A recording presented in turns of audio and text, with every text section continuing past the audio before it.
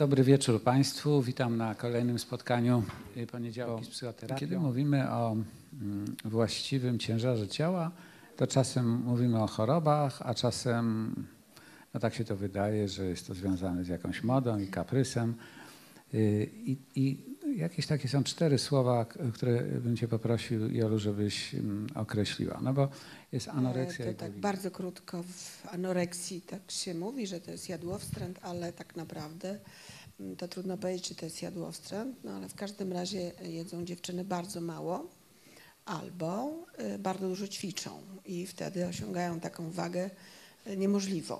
Czyli wagę, można też utrzymywać wagę w taki inny specjalny sposób, że się je i zwraca. To jest bulimia i jak wiadomo, to e, na oko nie widać, bo waga jest taka przeciętna, natomiast no, Czyli nie, nie widać, że osoba jest nie jakoś widać. grubsza czy chudsza Nic nie niż. takiego się nie dzieje, no bo to służy temu, żeby zachować tą wagę tak zwaną chorują na e, bulimię czy e, anoreksję. To są osoby, które zwracają na to uwagę bardzo. Znaczy jeszcze to bardziej jest niż inni, podstawowe tak? kryterium, czy mam tą wagę, czy nie, czy wyglądam, czy nie wyglądam, no i jakieś części ciała, czy wyglądają. Czyli jest to taka nadmierne skupienie na wyglądzie. Bardzo, bardzo przesadne. Czy to są groźne choroby? E, No, zwłaszcza anoreksja w jednej czwartej przypadków bywa śmiertelna. Więc z badań wynika, że im szybciej się leczy daną osobę, im szybciej rezygnuje z tego restrykcyjnego niejedzenia, e, tym łatwiej i szybciej wraca do zdrowia, bo potem to już jest taki też powtarzający się nawyk, sposób życia, sposób bycia i, no i zaczyna się takie, takie błędne koło No, no, no dobrze, no to anoreksja, to już wiemy, że to jest niebezpieczne, że dobrze, żeby to zacząć y, jak najszybciej leczyć. No a z tą bulimią, no co, co to jest za problem zdrowotny? No, przy dłuższym zwracaniu, że już nie powiem brzydko, prowokowaniu po prostu wymiotów, tak? prowokowaniu wymiotów, e, n- no niestety, ale dochodzi do powikłań, również czasami groźnych bardzo dla zdrowia, e, nawet śmiertelnych. Natomiast z takich nieśmiertelnych powikłań, no to jednak e, niszczy się szkliwo, wypadają zęby, są zaburzenia elektrolitowe. To nie jest też środowisko, to nie, nie, nie jest tylko kwestia tej jednej osoby, ale też środowiska. Jak mówisz środowisko, znaczy co, rodzina, tak? Rodzina. No, i- no Okej, oczywiście. środowisko rodzinne, Rodzina, tak? e, też środowisko szkolne, bo czasami jest taka fala, że jest kilka dziewczynek, które się odchudzają i niektóre z nich tracą, e, no jakby tracą kontrolę. E, No na przykład objaw zaczął zwracać uwagę, e, no i rodzice zaczynają karmić, zaczynają coś na ten temat mówić, coś się zmienia w tej rodzinie, E, No i ten objaw sam jest podtrzymany przez taką akcję, no nasze dziecko, e, no na przykład się kłó- kłócą mniej, no bo dziecko jest chore, to się nie kłócą. I dochodzi do takich zmian, które nie są tylko zmianami w tej nastolatce, ale w całej rodzinie. Czyli mo- można powiedzieć jakoś, że cała rodzina uczestniczy w tej chorobie, Dokładnie tak. tak? Ale to nie jest tak, że to przychodzi, nie wiem, z ojca na córkę, czy z matki na córkę, czy... E, To- to, to- co predysponuje do anoreksji, to na przykład nadwaga u rodziców.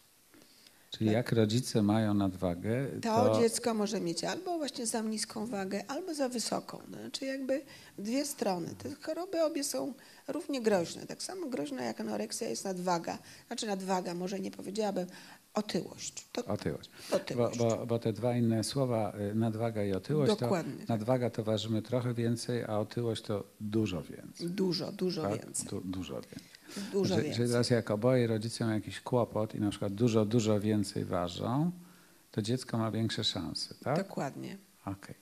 Owym, czy jakby takim fu- fundamentem tej, tych chorób jest e, stan emocjonalny i poczucie wartości i odbudowanie poczucia wartości, odbudowanie też kontaktu z emocjami, odbudowanie kontaktu ze sobą jest leczące, bo to są osoby, które no, tego kontaktu ze sobą, z uczuciami raczej nie mają.